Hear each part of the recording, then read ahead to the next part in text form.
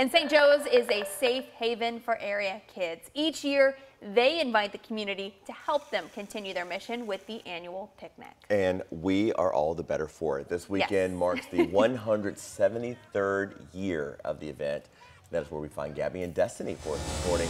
Good morning, Gabby. Hey guys, okay, so earlier in the tease, doing cotton candy is not my calling. Um, I did an epic fail, but as you can see, Joel is a pro at it. And Joel, how exciting is it for you all to be a part of this? I know you said that you all have special family ties to the St. Joe's picnic. It's been amazing. We've been uh, in the picnic for over 75 years as a family, so we have five generations. I've been myself been here 44 years. Wow.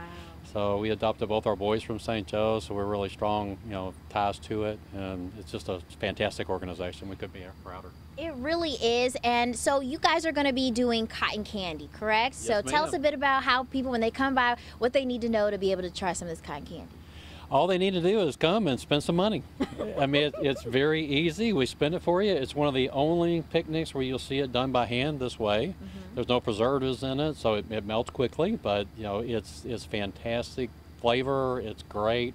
Um, I eat a lot of this through the year, and, and, and all day tomorrow you'll see me eating a lot of cotton candy. I'm sure. And for you at home, you know, this is such a great way to be a, coming together as a community, especially for the kids. And check out your screen. There are details in regards to how you guys can come out and enjoy yourselves. It begins tonight at 5 till 10, and then Saturday all day from noon until midnight. So you definitely want to be able to come out and have a good time. And you want to try some of this cotton candy because I tried it. It is very good, very delicious, and Joel is definitely going to be eating a lot of it. Nothing to get your toddlers oh, jacked up like some giant cotton candy, right, oh, Gabby? I love it.